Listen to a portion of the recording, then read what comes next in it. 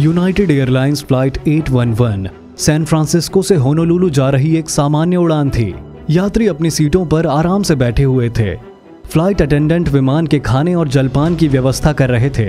लेकिन कैसे एक सामान्य उड़ान एक दुखद हादसे में बदल गई?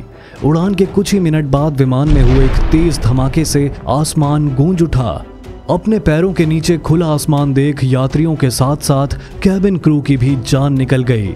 सबकी आँखों के सामने एक एक कर नौ पैसेंजर विमान से बाहर खींचे चले गए। तेज़ी से बेकाबू होते विमान को कंट्रोल करने के लिए पायलट जी जान से कोशिश कर रहे थे। क्या विमान पर कोई आतंकी हमला या बॉम्ब ब्लास्ट हुआ था? क्या पायलट इस विमान को सही सलामत उतार पाए? अमेरिकी इतिहास के सबसे अजीब और खतरनाक हादसे के बारे में जानने के लिए बने रहिए हमारे साथ।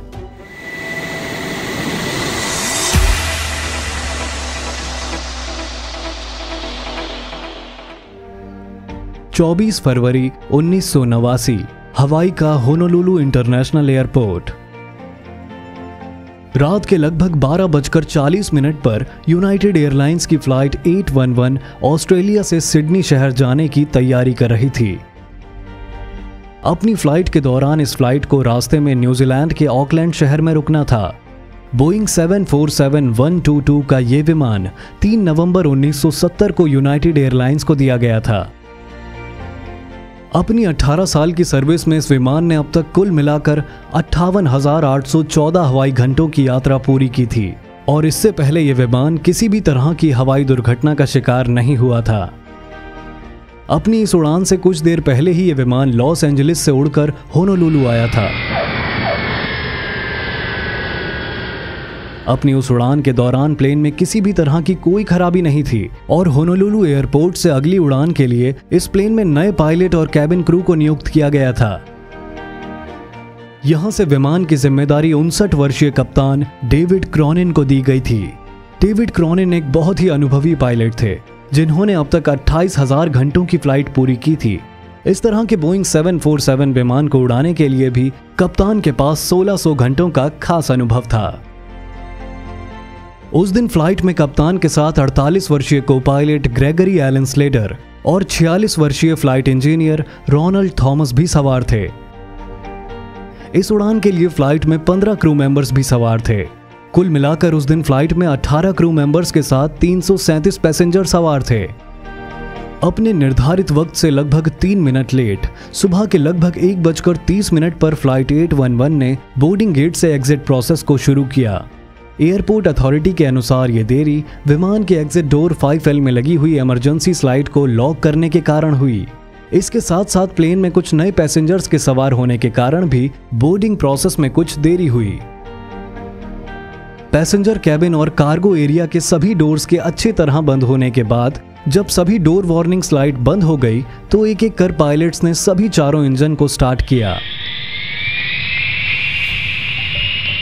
रोल ऑफ़ प्रोसेस को पूरा कर टैक्सीवे से होते हुए प्लेन धीरे धीरे रनवे पर पहुँचता है। रनवे 8 आर पर पहुँचने के बाद सुबह के एक बजकर बावन मिनट पर फ़्लाइट 811 होनोलुलू इंटरनेशनल एयरपोर्ट से टेक ऑफ़ करती है।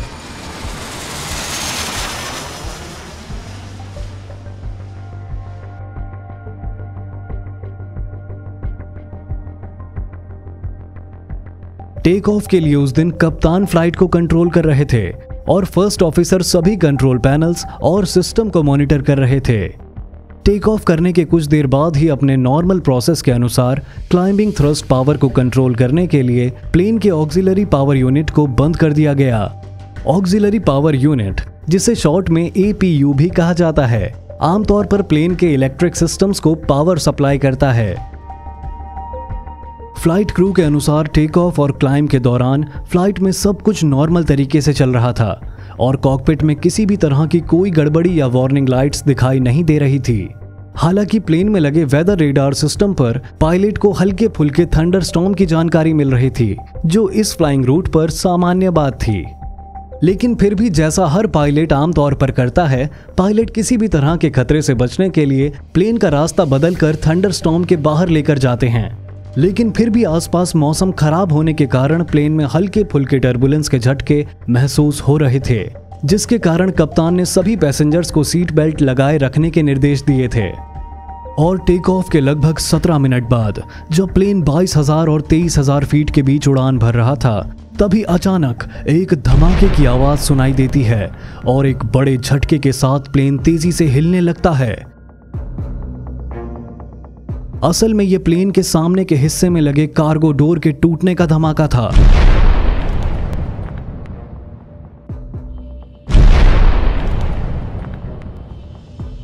कार्गो डोर इतनी तेज़ी के साथ टूटा कि अपने साथ साथ उसने पैसेंजर कैबिन के बहुत बड़े हिस्से को ही उखाड़ फेंका, जिसके कारण पैसेंजर कैबिन क्रू के दाएँ हिस्से में एक बहुत बड़ा छेद हो गया। तेईस हज़ार फीट की ऊंचाई पर हवा के तेज दबाव के कारण रो नंबर जी और एच के बीच की लगभग 10 सीटें उखड़कर प्लेन से बाहर जा गिरी। और इसके साथ साथ उन सीटों पर बैठे नौ पैसेंजर्स भी आसमान में ही खो गए। अपनी आँखों के सामने ही अपने सहयात्रियों को मौत के मुँह में जाते हुए देखकर सभी पैसेंजर्स की जान हलक में आ गई। न जाने मौत कब उन्हें भी अपने आगोश में ले ले। ये सोच सभी पैसेंजर्स भगवान को याद करने लगे। उस वक्त बिज़नेस क्लास में काम कर रही एक एयर होस्टेस मी सप्लू ने बड़ी ही मुश्किल से एक सीट को पकड़कर अपने आप को प्लेन से बाहर खींचे जाने से बचाया। कैबिन में हुए उस छेद के कारण, अचानक हुए डीकम्प्रेशन के कारण, एक दूसरी फ़्लाइट अटेंडेंट लॉरा ब्रांटिगलर भी बड़ी मुश्किल से फ़्लाइट डेक की सीढ़ियों को पकड़कर अपने आप को बचा पाई। रात के अंधेरे में तेईस हज़ार फीट की ऊंचाई पर उस वक्त प्लेन में सफ़र कर रहे सभी यात्रियों और क्रू मेंबर्स के लिए यह मंजर कितना भयानक होगा, इसका शायद हम अंदाज़ा भी नहीं लगा सकते। वहीं कॉकपिट में अपने होश संभालते हुए पायलट ने अपने ऑक्सीजन मास्क लगा लिए, ताकि वो ऑक्सीजन मास्क के सहारे सांस लेकर प्लेन को कंट्रोल कर सकें। लेकिन उस धमाके के कारण प्लेन में लगे हुए इमरजेंसी ऑक्सीजन यूनिट का एक बहुत बड़ा हिस्सा ही टूटकर प्लेन से अलग हो गया था। जिसके कारण अब पायलट को ऑक्सीजन मास्क से भी कोई मदद नहीं मिल रही थी।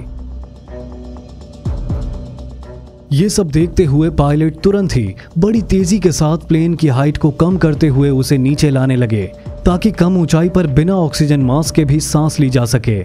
इसके साथ उन्होंने प्लेन को तेज़ी से 180 डिग्री के एंगल पर मोड़कर तुरंत ही वापस होनोलुलु एयरपोर्ट की तरफ़ मोड़ दिया। पायलट को लगा कि हो ना हो, प्लेन में बॉम्ब ब्लास्ट ही हुआ है। क्योंकि कुछ दिनों पहले पैन एम की फ़्लाइट 103 में भी स्कॉटलैंड के ऊपर से उड़ान भरते हुए बॉम्ब ब्लास्ट हुआ था। ये सोचकर पायलट की जान भी हलक में आ गई और उन्हें लगा कि अब उनका बचना नामुमकिन है। लेकिन बड़ी ही बहादुरी के साथ दोनों पायलट अभी भी पूरी जी जान के साथ प्लेन और उसमें बैठे हुए सभी लोगों की जान बचाने के लिए हिम्मत से प्लेन को कंट्रोल कर रहे थे। ऐसी हालत में किसी भी इंसान का हिम्मत हार जाना मुमकिन है। लेकिन ये पायलट की बहादुरी और ट्रेनिंग का ही नतीजा था कि मौत को सामने देखकर भी वो अपने फ़र्ज़ को निभा रहे थे। मुझसे काफ़ी लोग पूछते हैं कि अपने वीडियो बनाने के लिए मैं किस तरह के माइक्रोफोन या कैमरे का इस्तेमाल करता हूँ। वॉइस रिकॉर्डिंग करने के लिए मैं बिग पासपोर्ट का यूएसबी माइक्रोफोन यूज़ करता हूँ, जो हमारे आज के वीडियो के स्पॉन्सर भी हैं। बिग पासपोर्ट माइक के नॉइस कैंसिलेशन फ़ंक्शन के कारण ही अपने हर वीडियो के लिए मैं परफेक्ट एचडी वॉइस आसानी से रिकॉर्ड कर लेता हूँ। इसके अलावा अपनी टीम से ऑनलाइन बात करने के लिए भी मैं बिग पासपोर्ट के यूएसबी हेडफोन्स और वेबकैम का इस्तेमाल करता हूँ।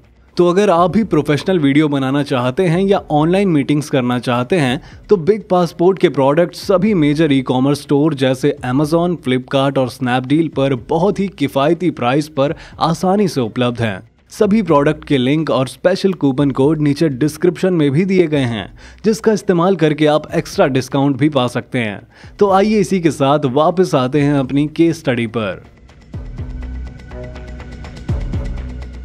पायलट ने तुरंत ही एटीसी टावर को कांटेक्ट कर उन्हें प्लेन में हुए बॉम्ब धमाके की जानकारी दी और मेडे का अनाउंसमेंट कर दिया। आमतौर पर पायलट उसी हालत में मेडे की अनाउंसमेंट करता है, जब प्लेन किसी बहुत बड़ी दुर्घटना का शिकार होता है, और उसका बचना काफ़ी मुश्किल होता है। प्लेन में आई इस इमरजेंसी को जानते ही एटीसी तुरंत ही पायलट को होनोलुलु एयरपोर्ट पर इमरजेंसी लैंडिंग की परमिशन दे देता है।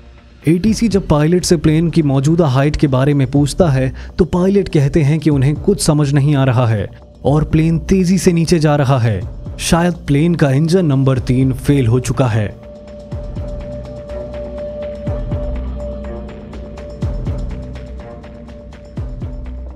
असल में कार्गो डोर में हुए तेज धमाके की वजह से प्लेन के कुछ टुकड़े इंजन नंबर तीन और चार में जाकर टकरा गए थे, जिसके कारण इंजन को बहुत बड़ा नुकसान हुआ था और वो बड़ी मुश्किल से प्लेन को पावर दे पा रहे थे।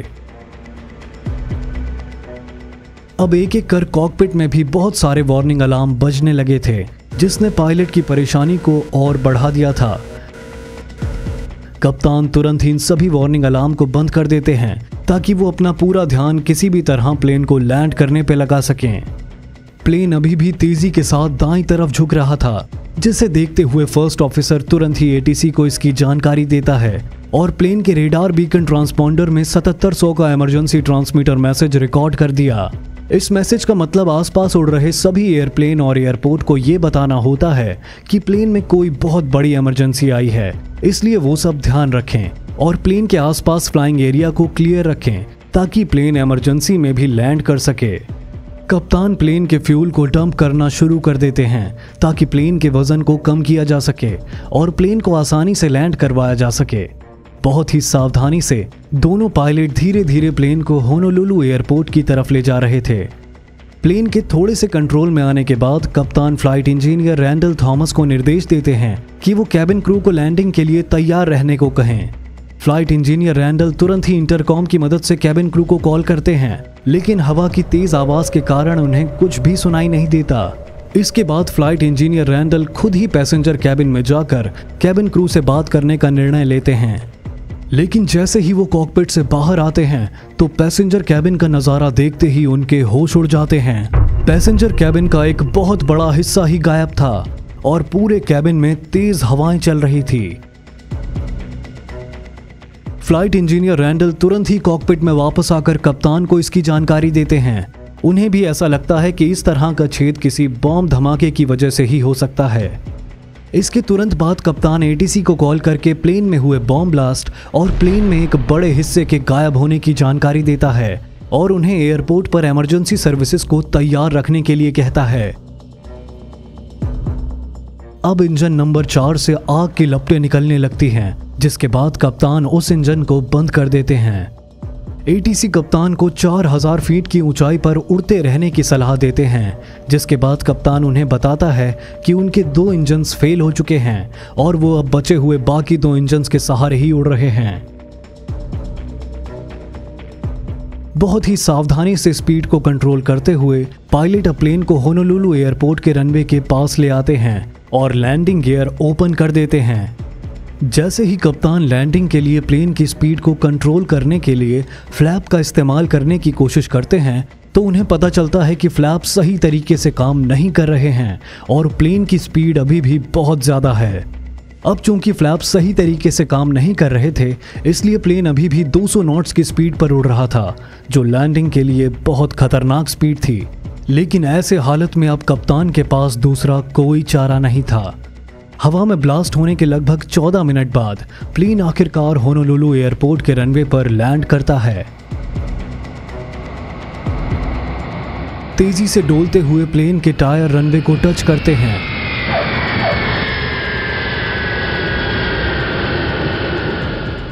और प्लेन तेज़ी से रनवे पर दौड़ने लगता है।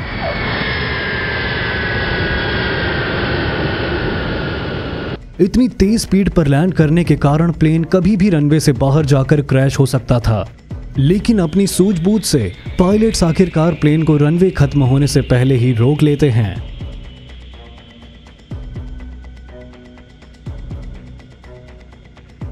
पैसेंजर के साथ साथ पूरे कैबिन क्रू को अपनी किस्मत पर यकीन नहीं होता।